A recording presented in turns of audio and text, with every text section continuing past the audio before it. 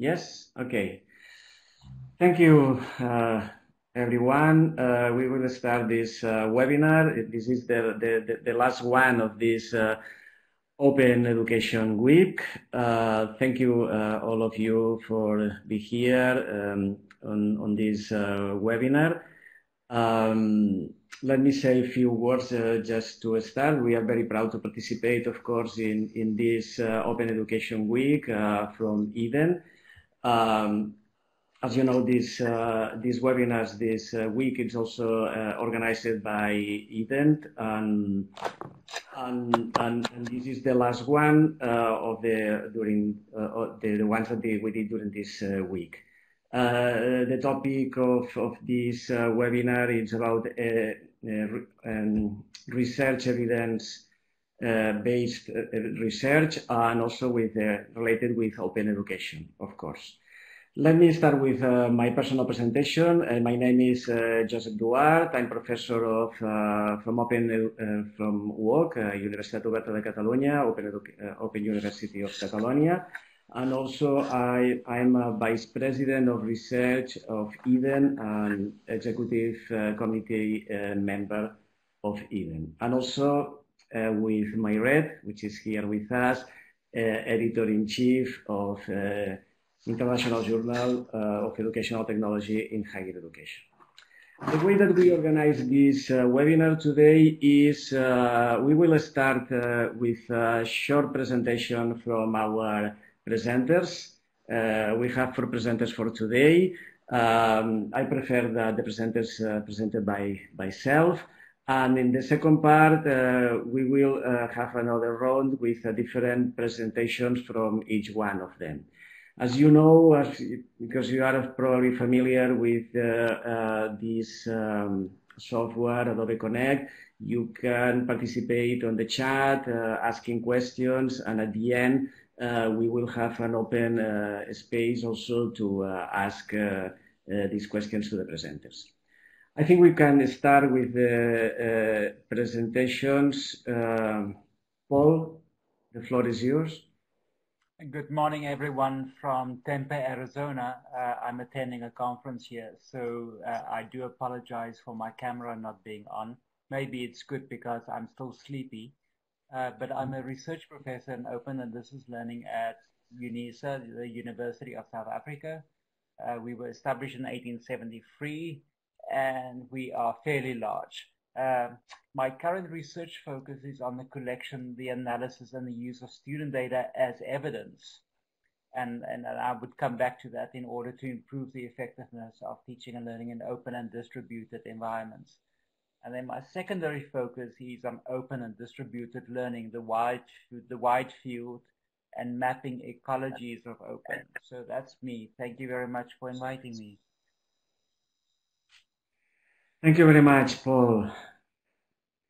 Now we move to Mairead. The floor is yours.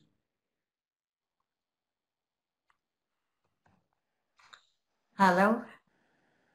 Mairead? Can you hear me? introduce yourself, please?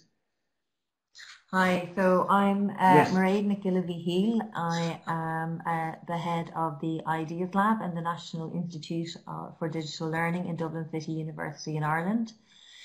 I suppose my main research focus will be looking at MOOCs and at their use and looking at areas of language research and also with regard to cultural research we're also looking at a number of areas to do with sentiment analysis, motivation.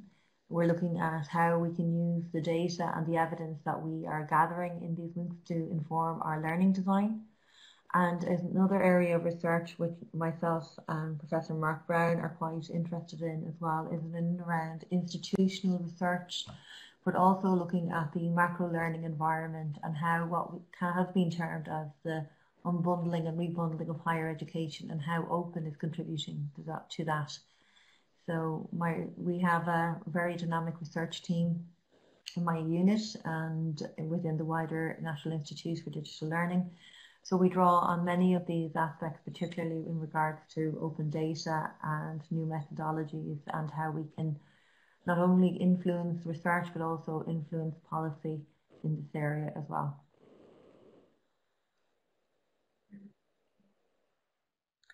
Thank you very much, Red.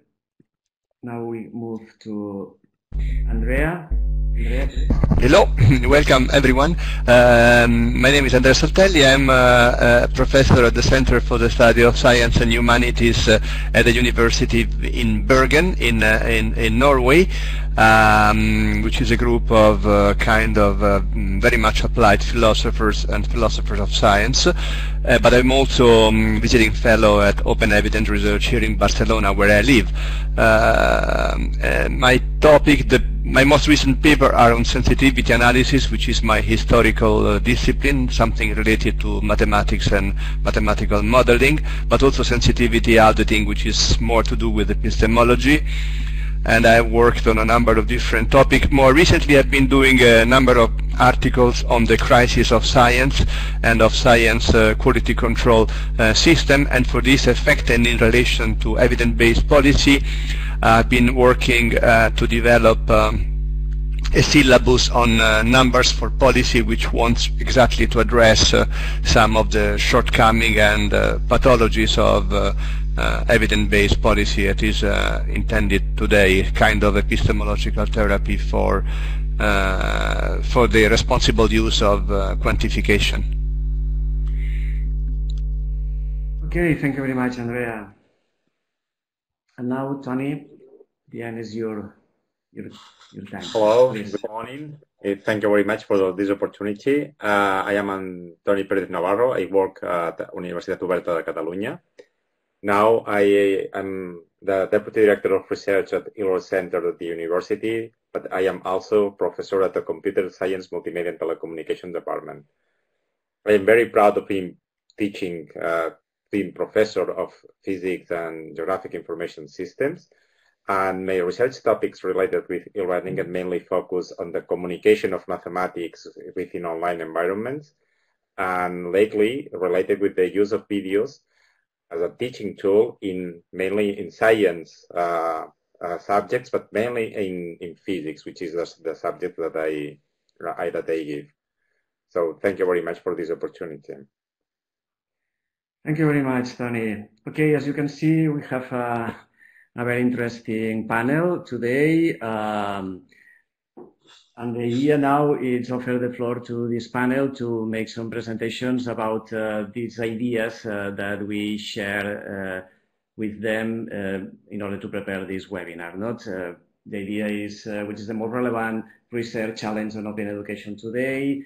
Can evidence-based research approach offer a new, better perspective for open education research, and what kind of uh, evidence-based research methodologies are more appropriated uh, to research on open education. Of course, um, the presenters can uh, make comments with related to other the, the, the, other questions or things that they think that could be interesting to share with us today.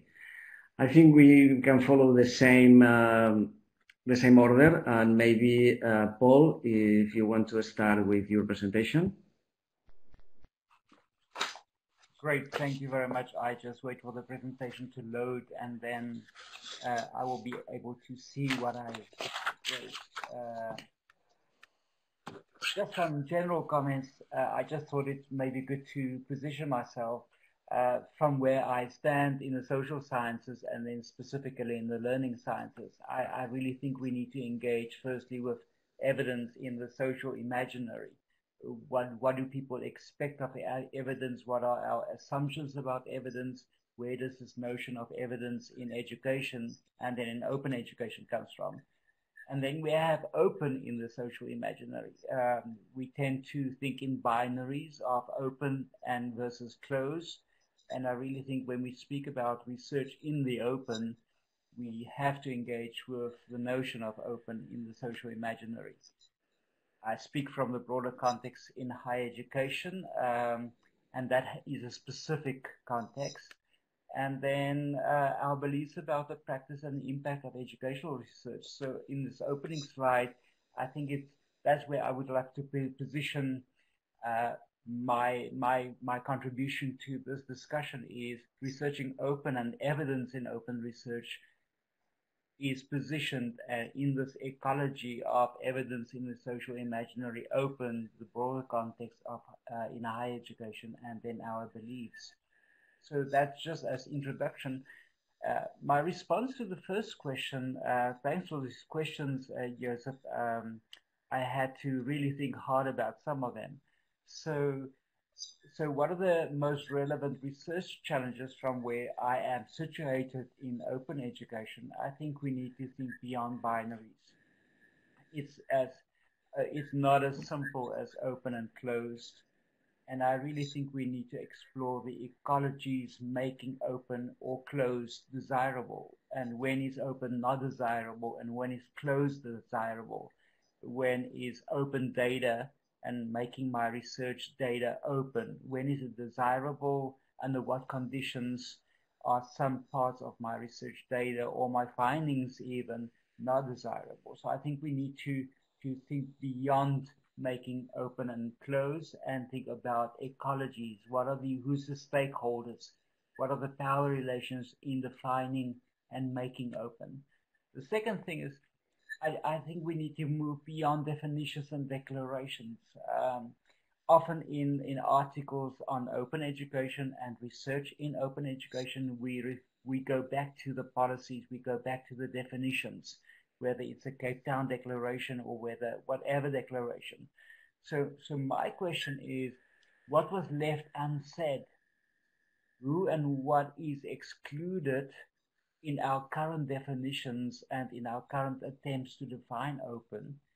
And, and who excluded them? Who are the voices that are not heard? On what basis? And what are the effects on those material and human that are not included but are affected? Um, I, I love the work of Manuel Castells that says not everyone is included, but everyone is affected. So when we, and for me, that's a research challenge to engage with, to go beyond our definitions and ask what was left unsaid, who and what is excluded, and by whom, and on what basis, and what are the effects of these inclusions and exclusions on, on everyone. The third thing that I think from where I am the most relevant research challenge in open education is realizing that all evidence are ideological. All evidence, in my view, is preliminary until further notice. Uh, all evidence is contested and fragile. So, so um, from again, this is very, very personal, but I do think there's a we need to be very sober about evidence. I'm now at the learning uh, analytics and knowledge conference and and there's an increasing realization that the evidence presented last year has since been found not to be true anymore or had gaps in it. And I think there's an openness in our claims about evidence to say this is ideological, it's preliminary. We, from what we know, the, until further notice, this is the claims we can make. It can be contested and it is increasingly fragile. The second question is, um, and this is an interesting one, can evidence-based research offer a new and better perspective? And I was wondering what would make it new uh, and better than what? Um, it, what what what uh, what is evidence-based research? As if we, yeah, do we find research that is not evidence-based? So what is new about this, and and and better than what? And then the second point with regard to that is to what extent can evidence be open and not close off interrogation and critique? Um, and I've already referred to that in the sense of um, are we open about our processes, the decisions that led us to accept a certain methodology as appropriate to this question, Will we make our data open? Will we share our findings? There's some things that we will not share or we won't be allowed to share. So, so to what extent can evidence be open and not close off interrogation and critique? And then the third point in, in this question is how is evidence-based research different in open education compared to non-open education? So I, I first want to question is there any research that is not evidence-based, where even conceptual and theoretical research, there's evidence. So, so my, I want to contest and destabilize this question to say, is there evidence-based research that is not evidence-based? is there any research that is not evidence-based? And then secondly, uh, the evidence in open education, does it really differ from non-open education? So yeah, uh, this question really had me wondering.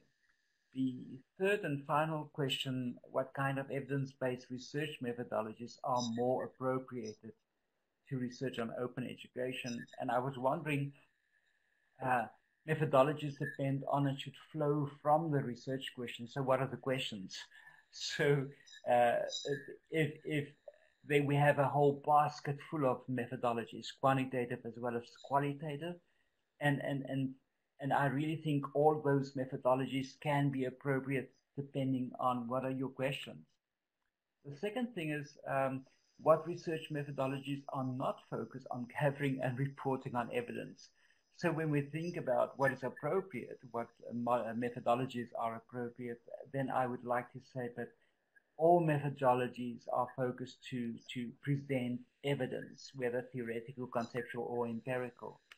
And then my last point, and I think I'm within your time limits, Joseph, is how will the evidence be disseminated?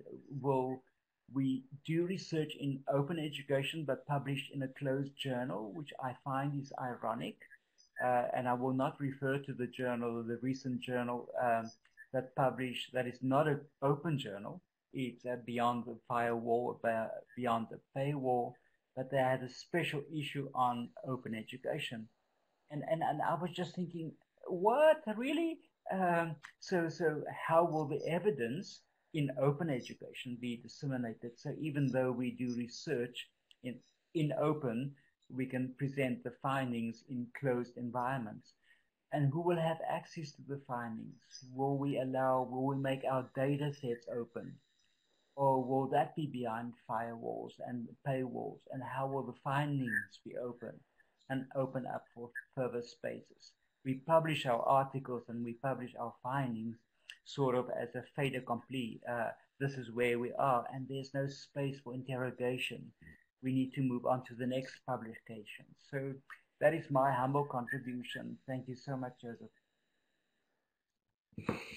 Thank you so much, uh, Paul. Very, very interesting to me. and I'm sure for a lot of the attendants too to this uh, webinar. Uh, please, if you have any comments or questions, uh, you can continue writing, of course, in, in the chat, and, and we try to collect some of them uh, for the last part of the, of the webinar. Okay, now, now we can move to the next uh, presenter. Uh, Mairead, your turn. Okay. I'll just wait for the slides to come up. I think this is your slides.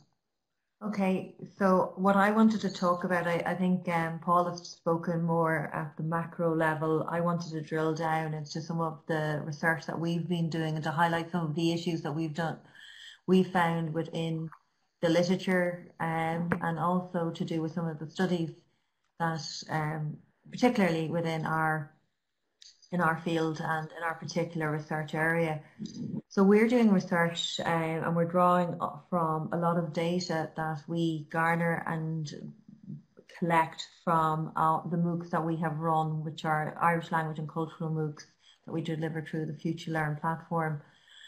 So we've quite a number of people and learners who engage in these and we've had a huge amount of as you'd expect through the MOOCs that we deliver, we have a huge amount of data points and evidence and etc. And I'll come back to the notion of data versus evidence in a few minutes.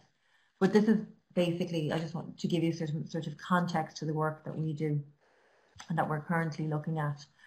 So for me, when I was looking at these, when we look at the this and what one of the major criticisms and challenges we would see in this area is really well, designing well well defined and well scoped research and this comes down to looking at the data and then the particular questions that we have and I'll come back to this again when we talk to methodologies.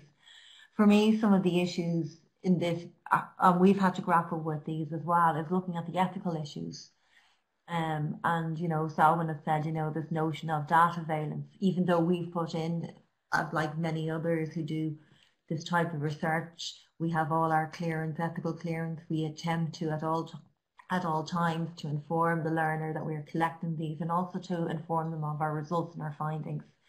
I suppose they're particularly aware of our findings when we alert them to a change in our learning design based on something that we have done or learned from what they have done.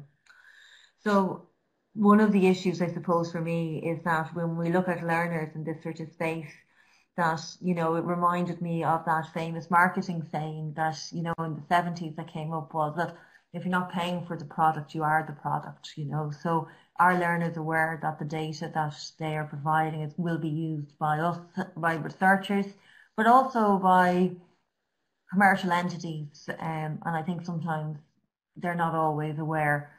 And you can say, I suppose it's like all of us when we get our phone and we try to turn it on and we download something, and we see the terms and conditions and 27 pages that follow with terms and conditions. I, I we usually all go, yes, that's fine. I just want to use um, whatever, whatever product or service that I want to use.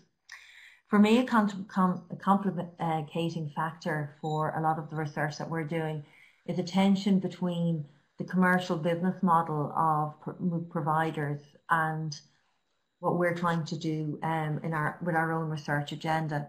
And this tension, as uh, I think Paul there has um, mentioned also, is that our learners, our learners now our product, and are we looking at them from that point of view?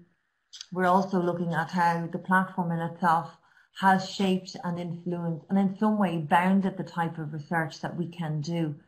And we've also looked at ways and how we've had to become a lot more rigorous and a lot more um, having to engage with the platform and explain to them and make them understand as best as they can the why particular research, why particular research questions demand particular um, research design, etc., where they have felt and from coming from the point of view that they're coming from, that research in this area can be done to very specific ways. For me, um, a lot of the, the challenges is, is that in studies and in the literature, particularly where it's empirical literature, literature being reported on, that there is a lot of there is a lot of there is an absence of theory. That's one of the things, whether it's theory at the start or theory produced based on it or influenced because of the study. And also there is a lack of acknowledgement, I think, in many studies of the type of weird uh, learners that we have on a lot of these platforms, uh, particularly the commercial platforms, where we have Western educated, industrial rich and democratic. So I'm trying not to be I, am trying not to be abusive to anybody, but just it's a nice acronym, and sometimes we don't say our research is a little bit based on some the representative of this is a little bit weird. Looking at the new, better perspective, um, I'm sort of in the same vein as Paul on this. I was, I, I wanted to say, well, in one way, I'm on the fence. Um, it can, and it doesn't necessarily have to either. I think for interdisciplinary research, I think, yes, there obviously is particularly benefits that can be derived from this.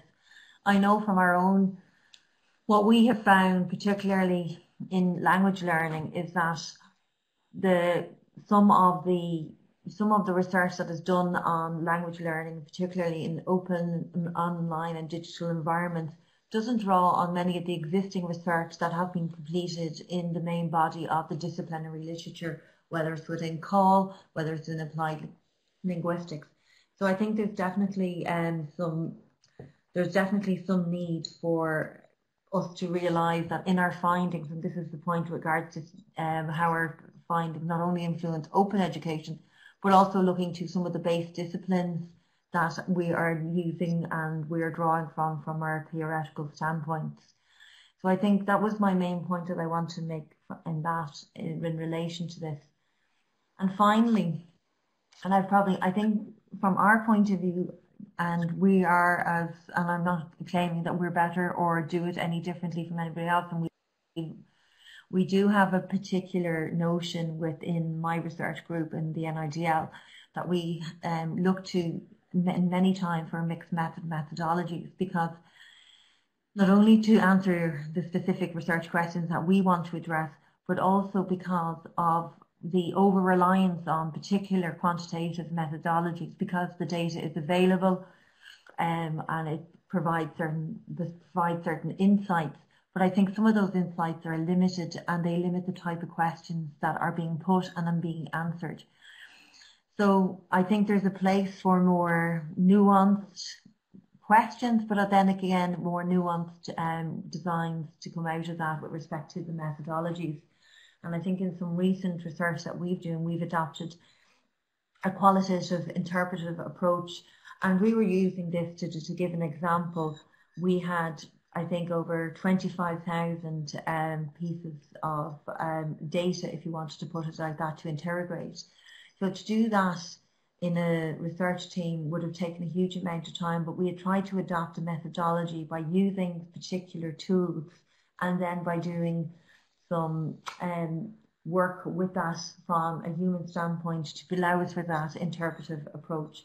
I think that has been a particular insight that we have that we have we have found as well um, has made and it has made a difference not only in terms of allowing us to ask deeper questions but also to provide better answers in some way.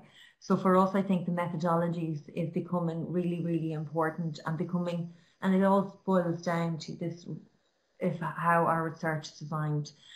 Um, finally, I just want to conclude, and I think just to come back to one of the comments that came up, and for me, I think in this whole element of it, I think we have to stand away from snapshot accounts if at all possible where there, I think, and this is where we come back into, and whether my understanding of process is different from others, but for me, where we have process and longitudinal research, I think that can add a lot more. And because of the types of data that come our way, I think it provides us with a unique and rich opportunity to incorporate longitudinal designs and to avoid snapshot shot accounts where we could particularly just focus on very limited areas. So I'm going to hand over now. Um, uh, I think I've said enough and I'm going to hand on to the next presenter, but I'd be very interested in your thoughts in respect to these. Thank you very much, Mairead. Thank you very much. I think uh, there is uh, different comments, very interesting ones on the chat too, uh, about your uh, comments. Um, this interesting uh, last approach about methodologies. And thank you very much. And, and of course, uh, we can use the chat uh, for uh, the questions and to share uh, your comments, etc. Um, we can move to the next presenter. I think now it's the... Mm, thank you, Joseph. Uh, I will not be uh, showing uh, uh slides. Um, I'll try to, to stay uh, on the on the on the track of the discussion nevertheless. So I will start straight away what uh, with what are today the most relevant research challenges in open education. I would say that I have a strange feeling these days that we are living some sort of ancien regime where, in a sense, we appear not to be processing uh, important signals of danger which we uh, receive from from society, including from the world of uh, education. Um, and open education should be particularly concerned by that, seeing what uh, appears to be um, the strong, I might say, devastating impact of uh, new media on all what which concerns our life, including uh, education and the way we, go about living. Um, uh, I have in front of me, which uh, places as my slide, uh, this, uh, I don't know if you can see, this is a uh, recent book by, by Jaron Lanier on, on social account and the effect of um, new media technology. And the second book I've been reading recently, I don't know if you can read it, this is again from the last book from Yuval Harari, again on lessons on uh, uh, for the 21st century, which has an interesting chapter, chapter 19 on, on education, and I'll say a few words about that. Why should all this concern us? Uh, well, because the impact of these new media is in a sense uh, extremely severe in terms of um, of, uh, um, for instance, our participation to the public life. You all have heard how this media can be used to deter uh, people from civic participation, from political participation. How can they be used to stimulate anger and frustration?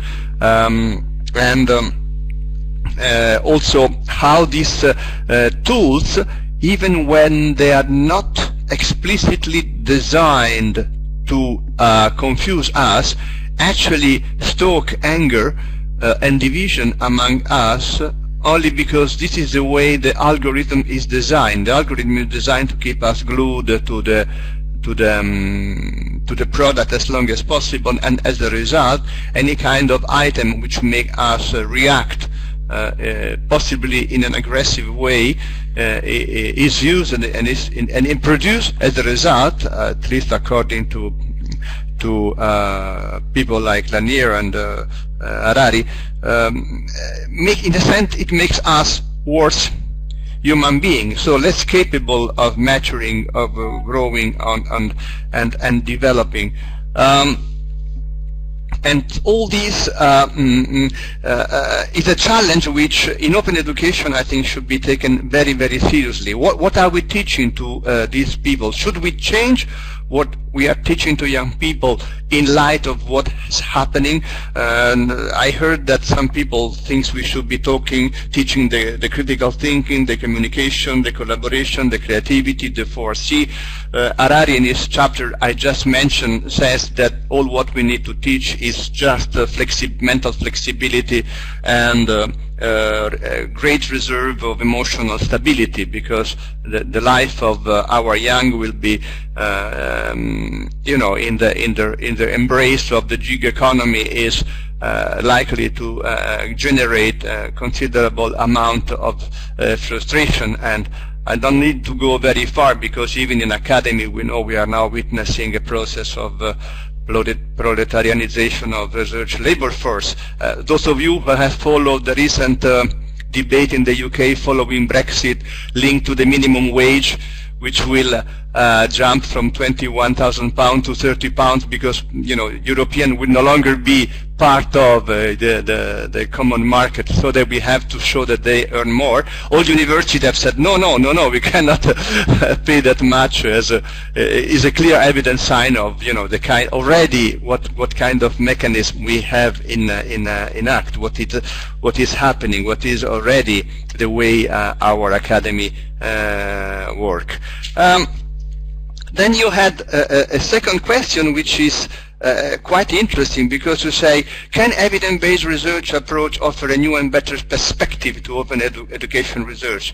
Well, I, I participate to what uh, Paul has said. We have to discuss what we mean by open and what we mean by evidence. Uh, I have recently published a paper entitled What is Wrong with Evidence-Based Policy and in the paper I argue that uh, there exists a lot of rhetoric about the use of the word evidence, and furthermore, the evidence-based policy um, kind of ideology um, hide a fundamental knowledge uh, asymmetry, which, if you wish, is part of some kind of um, neoliberal way of approaching the problem of evidence for policy. It's obvious that if we are talking about evidence, those who have more money can, can pay for more evidence, and this is only too evident if you look at some present-day uh, controversy even in concerning the environment, concerning food, concerning a number of other, uh, concerning new technology, um, there is really a, a, fundamental power asymmetry in the use of evidence about which we should reflect or we should do something about that by way perhaps of uh, redressing this kind of, um, uh, of asymmetry. Uh, and then you have also the, the idea that uh, behind this evidence-based policy approach is always the idea that you can easily uh, linearize the problem you have under study. For instance, you know, de uh, developing uh, or work, working around concept of cost benefit, efficiency, and so on and the like. um, uh, upholding at the same time some idea that the technique which you use are neutral, no, the neutrality of the technique, which is totally uh, totally disingenuous. The technique is never neutral, and especially if you adopt uh, uh, techniques of evidence-based policy which um, resort to uh, strategies of uh, cost-benefit analysis, you have made a very clear choice which will, of course, very well favor um, again the same kind of ideology which maybe has produced some of the problems which you would wish to uh, to address. So I would say uh, we should be uh, uh quite careful. Evidence-based policy most often is uh, uh, policy-based evidence. We all know that, but mm, the issue of power asymmetry is really important. to wrap up, I think that um, again to go to the idea of the ancien regime, um, we have this. Um, situation where we have young people in front of us and we don't have a clue how will be the labor market uh, a, a, few years from now. Maybe I can now show you one one more book. Uh, this was maybe some of you have seen it. It is the second machine age of Bjorn Bjornson and McAfee, uh, where they describe. This book is a very honest book because though it's written by technologists, it's very clear on the challenges which uh, these new technology are facing. Uh, um, and how what, what, will happen with jobs. You know, the, even Harari in his chapter says ch change will be the only constancy in all that. Um, so not knowing what uh, what we will have to uh, how we can prepare people uh, to uh, uh, to face the new challenges to face a world dominated by platform capitalism uh, I believe this will be in a sense the challenge of of of, um, of, of, the, of, an activity. And, and, again, so to what extent can uh, uh, evidence-based research help all that? Well, I would say that then if we agree that we have a challenge, if we agree that we have all these pathologies or dystopia I've been mentioning uh, so far, I think that our role and our duty in, in, this kind of situation would be uh, to make those pathology uh, and to make this dystopia evident um, and to uh, start a discussion uh, around uh, around this uh, topic. well, I think I have co covered what I what I wanted to say, and thank you for, for, for your attention.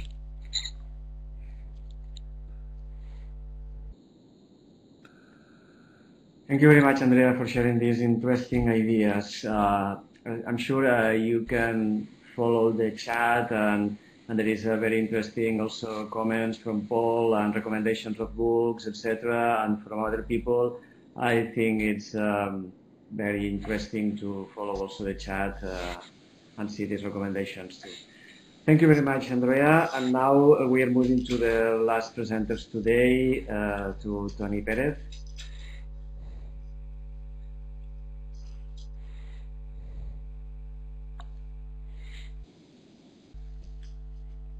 The floor is yours.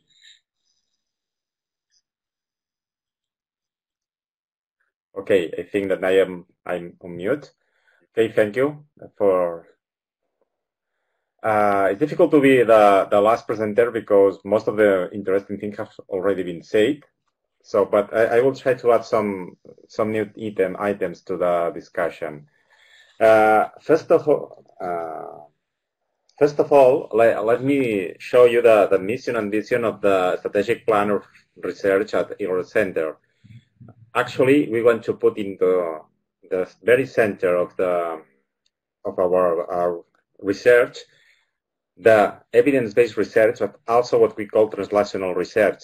What we say with that is that that research has to be applied to the students and to the real situations, and this experience have to be uh, generate evidences that have to come back to our research and then create like a cycle of truly realimentation. Then let's answer these questions taking into account that we are working in that perspective. How open is this evidence-based research approach according to your experience? Okay. Uh, in my personal opinion and experience, uh, talking about openness and uh, uh, evidence-based research is about is talking about two different topics. uh, you can make uh, evidence-based research and not making it open, and you can make uh, open uh, any kind of research. So, uh, what for me, what is important is how we have been talking during this seminar about um, this topic a lot, but there's a thing that is important also for me. That is that if we are talking about open, open for us has to mean that has to be available to everybody. So when we are making uh, evidence-based research, many times it is just in the kingdom of research, and it doesn't arrive to the practitioners. To it doesn't arrive to the society mm-hmm. and to make that uh, research available to everybody. So what I think is that we should have to to think in open, like an uh, open to everybody and not only talking about the license. Open it and make it understandable and useful for everybody. Maybe we should have to create after that research what we call here practitioner guides uh, of they're showing the, the degree of evidence. If we, it's more or less the, the something that I try to attention here is more or less the same that in medicine was lived in the 20th century when uh, the research was performed, but most of the practitioners didn't know about it. Can evidence-based research approach offer a new and better perspective to the open education? Here, I want to, to show you two examples of the we have made at Tillotson Center that can make this uh, the, the effects of the research and two calls that we have created to promote this kind of research to show the challenges. Here you see one example that we created a new way to show uh, the materials to the students, what we call new, is a different way to show materials, but also the different access to the materials. Okay, it was created, it was put in the classroom, but it has been researched, the research about this uh, uh, intervention, what has made the main changes when we have known actually what it was happening and through research to uh, have uh, give us evidences of which changes we should have to, to introduce. Then we see uh, an example of how research can make us to change an intervention. The second change is a SPRIA that is born from a, for a research based on dropout at online universities. At online universities, dropout is very high. Will see, the first semester is 28%. And there was a, a, an important research performed by my colleagues uh, regarding dropout. And through these evidences, some in changes were introduced will see. For example, the, to group some subjects, to, to make some special calendars. But what is important that these changes were born from evidence-based research. And these changes, changes are having a true impact in the, at the UOC uh, dropout. Then we see that research has an impact in students, but also has an economical impact because a reduction of dropout, of course, implies that you have people more years in, at the university. Also, Taylor said that from our perspective, we have seen the research that was performed that what I would like also to draw your attention is that these kind, two kind of projects that are projects that what try to do is get from the very beginnings the kind of things that they, they put into attention is that you uh, researchers have to perform evidence-based research. On the other side, we have to make open evidence-based research because of the uh, uh, university uh, rules. So mm, I cannot show examples uh, because they are just starting. Hope next year to show some examples about this. Then what kind of evidence research methodologies are more appropriate to research on open education? Before answer the question uh, about methodologies, I would like to drive the attention about data. Evidence-based is based on data. So uh, we have seen in previous uh, presentations that also is important theoretical theoretical approach the ethics about data, that we have to get data. So what is important is to get data about what the students are doing or what we are uh, looking at uh, is doing. We have, for example, this kind of access to the kind of uh, actions that the students do. But uh, what is important is to, the evidence has to be based in data, but act into really quality and curated data. So the evidence would be as good as good as the data will be. In that sense, uh, it's something that I would like to drive the attention before. then what will be the right methodology? As we have seen from Paul, the research question will define the right methodology. But if I had to choose one, uh, I would choose the group control methodology that would drive us a very powerful and relevance of the results we get. And of course, uh, with a high end, but it's something that many methodologies, according to the question, can be the right ones. There is something that I would like also to drive attention is regarding some new techniques that are, uh, are getting now very common, like for example, applying artificial intelligence techniques to research. It was a very good presentation in the last Eden research workshop about this topic. And it's something that we have to be very careful because these methodologies can show us the what, but not the why. So we have not to, we have to take into account what are they doing. It's more or less Andrea has already talked about this topic also before. And what the more relevant ch challenges for me, I would, I would like, I want to drive the, the attention to four topics. First of all, as, I said, as I said, the gap between researchers and practitioners. Then I propose maybe to create these open guides to practitioners. I would think that it's important to get a standardization of the level of quality of every research, not level of quality of the research, but the, uh, the, the, quality of the evidence. For example, it's not the same to make uh, a research with control group in several institutions in several different countries with thousands of students. The results will be very strong than a research in a smaller school with few students. So how can we say society which is, the, is, which is more reliable with in a very easy way? For example, I propose these levels of reliability that is the more or less the same that we find in, in pharmacy. Uh, to give systematic reviews in education the level they have in medicine. Here, the example of medicine is very good because they have very open databases with a, a lot of uh, systematic reviews and you have very information of the evidences of every single treatment It's something very difficult to find in education, although we had finding already some databases that try to give this information. And finally, uh, uh, since I propose uh, the group control, maybe we have to normalize the the participation on educational research project, like for example, educational trials, the same way we do in in medicine, where it is very well uh, establish what should have to be done. So it is my humble uh, uh, approach to this. And I would like to finish with uh, this uh, sentence that evidence-based make up to move slower, but with very well fundamented steps. So thank you very much. Thank you very much, Tony. Okay, I think uh, we have uh, we can see all of the presentations, very interesting ones. There is uh, a lot of comments on the chat and uh, new ideas, etc. Now we have a few uh, minutes if we would like to share uh, more comments. I don't know if the members of the panel will like to add something or to ask to the other members of the panels. Now it's time to do it. some of you would like to say something. Andrea?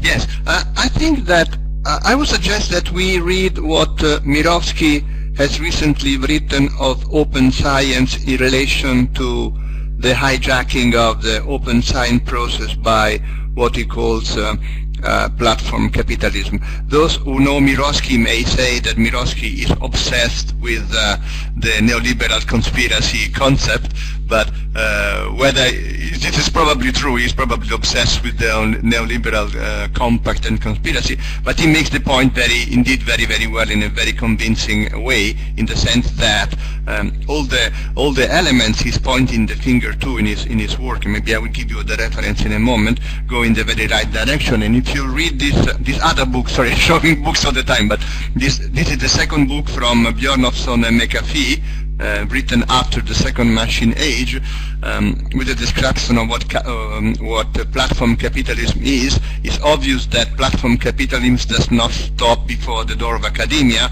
and will, as it is uh, uh invading open science, uh, I may well suspect is, is invading open education as well. So if we give some thought to this idea that there is indeed some neoliberal agenda of um, aggressing, of the diminishing of down emphasizing uh, mm, public uh, uh, and state-sponsored education system, if this is true, if this exists, then maybe we, um, we could read what Mirowski writes and, and analyze what we do and see if we are prey to the same kind of, of mechanism.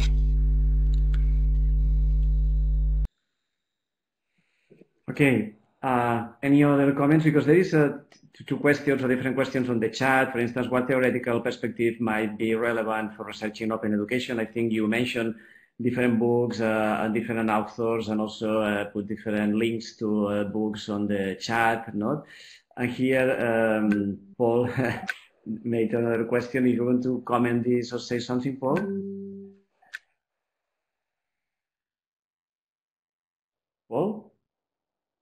Oh, your uh, your microphone is uh, is mute. Uh, I love the work yes. that Andrea was referring to um, platform capitalism, and I just had a thought: uh, our high impact journals and how had the publishing houses actually become another form of platform capitalism. I know it's sort of transferring a, a notion, uh, you know, from a specific context into another context. But when Andrea was was speaking, I was just wondering the same principles of platform capitalism can actually be applied to Taylor and Francis and Elsevier and all the other publishing houses for that matter.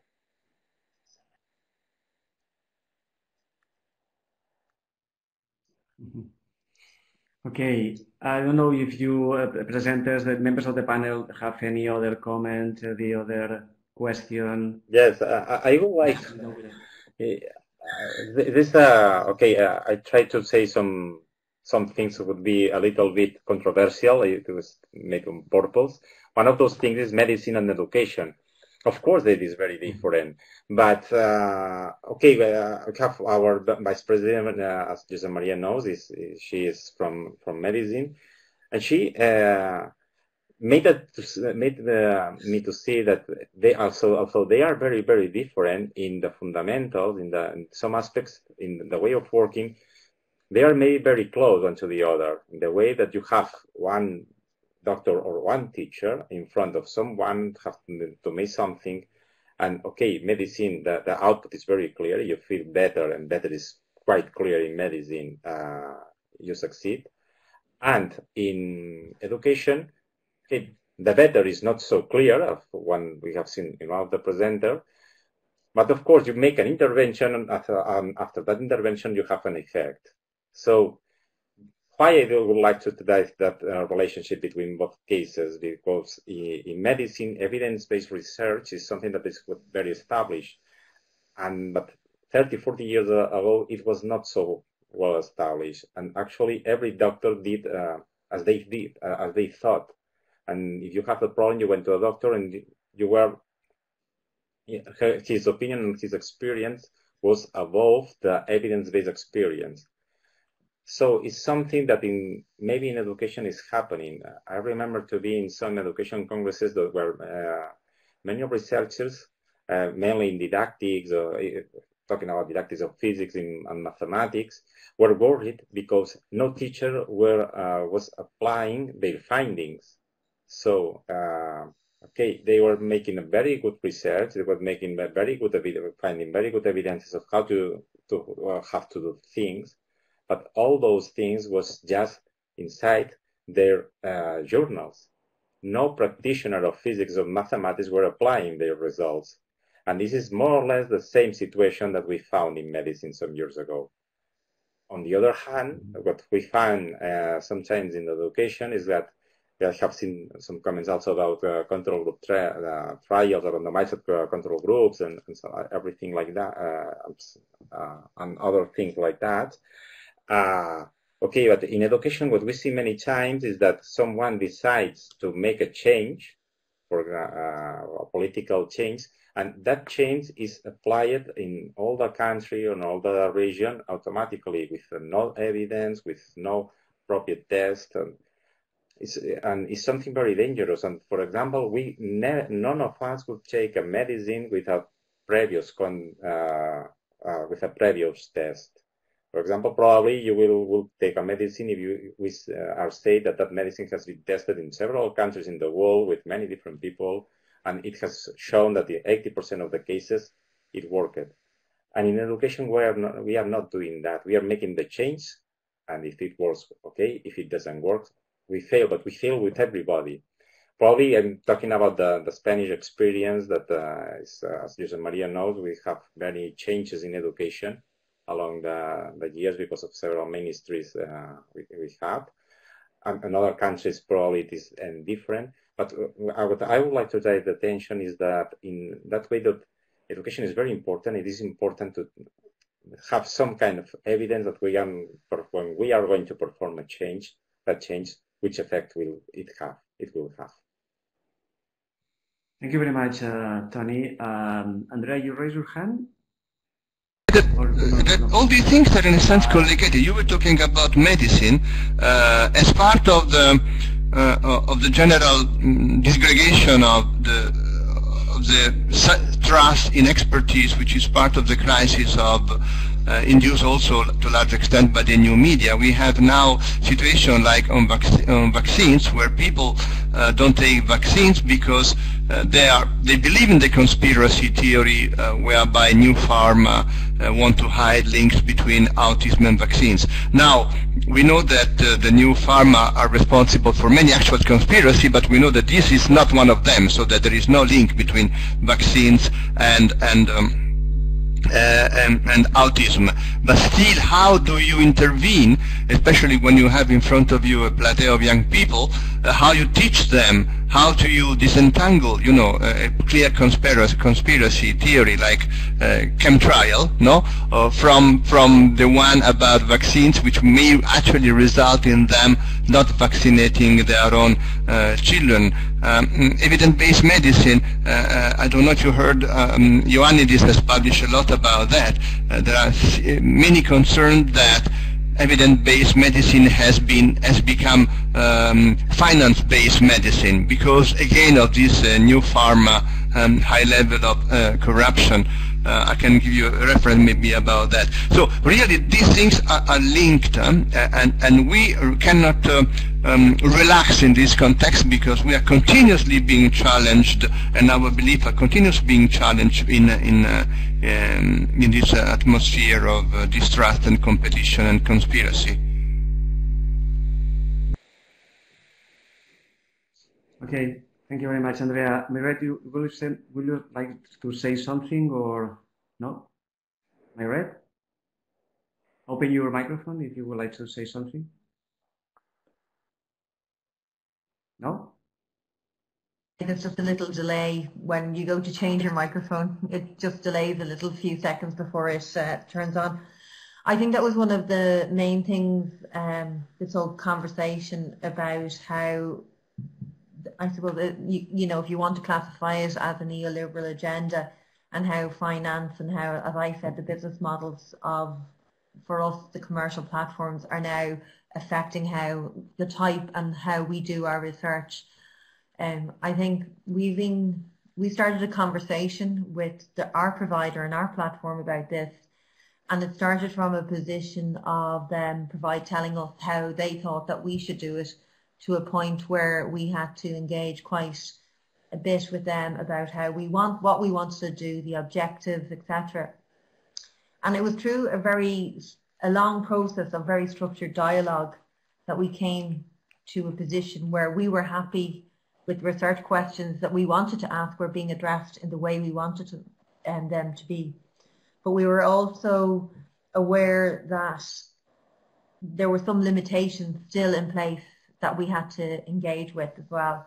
And some of those limitations were things well beyond the um, platform providers that are there from, I suppose, what I call supranational organisations such as the European Union. They came in with others. There are other contexts, so I don't think it's just limited to mere financials. So my point is, like issues like GDPR become really, really important in a research um, perspective. So they become the issue because they have consequences both for the platforms but also from us as we do our research. So I think this question isn't as easily, you know, again, because of the multitude of contexts bearing down on how we're researching in particular ways and particularly in our own context for doing MOOC related research that I think has a significant weight, but I don't think it's simply just a single causal effect. There's multiple contexts that need to be taken into account. Um, so I think for me, we need to be a little bit more aware of that when we think about it. And also just in response to some of the chat that's come up, I think our claims also have to be contextualized. They also have to be put some in some sort of historical context as well. I think that's another thing that I would also say um, regards to some of the research, even though it may be empirical in nature. I think there's a historical, there's a, a historical um, placing of that research. Um, and I think that we need to be more cognizant of that as we review, as we engage, as we write, as we disseminate um, our research more broadly. Thank you very much, Andrea. I think, I'm sorry, Andrea, sorry, Miriam. Uh, uh, I, I, think now it's time to more or less to finish. Uh, I, I, to me, it, it, was a very really interesting uh, webinar because uh, there is, uh, to me, there were very interesting comments and points, and also during the chat. I have also a personal question. Not for instance, yes, I agree with, in particular, with Paul when he said it is not uh, research without evidence. But why in the area of education we insist a lot on evidence? That is maybe because in, a, in another ways, in another period of time, we did research without evidence. I don't know, no, but this is a, a very important point uh, to today's. Uh, and also, mm, to me, was very interesting some of the comments related to the wired uh, journals, no? This idea from the vision uh, from uh, particular journals or in particular also some um, publisher companies. Uh, let me say just an editor, as editor, the same like my editor, sometimes it depends also from the editor point of views. And I think editors uh, have a very important role in order to decide and select uh, good papers. Uh, and I hope and I think I'm sure that the editors uh, take in account a different perspective. Not? And, and for instance, we have uh, uh, examples in the journal that we have here in Eden. Uh, it's called Europe, uh, and also the, the journal that we are leading with Mairead, which is an open journal, uh, no APCs under a platform from Springer, which is something that we uh, achieve uh, because the editors uh, for that and, and decide to um, maintain the journal open in this sense.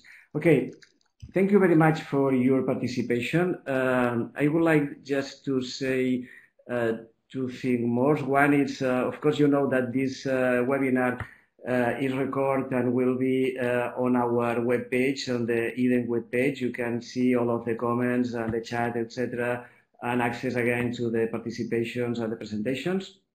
And let me remain uh, our next uh, meeting, the next meeting, uh, it's uh, our uh, annual conference uh, on Bruges, Belgium, in 16 to 19 on June. I hope to meet you there and we have the opportunity to see each other in presence in, in, in Bruges. And let me say also a, a, short mention to another interesting and important meeting in November, uh, uh, hosted by uh, Dublin uh, City University. Uh, it's the ICDE General Conference in, uh, from 3 to 7 of November. Thank you very much for all of you. 拜拜。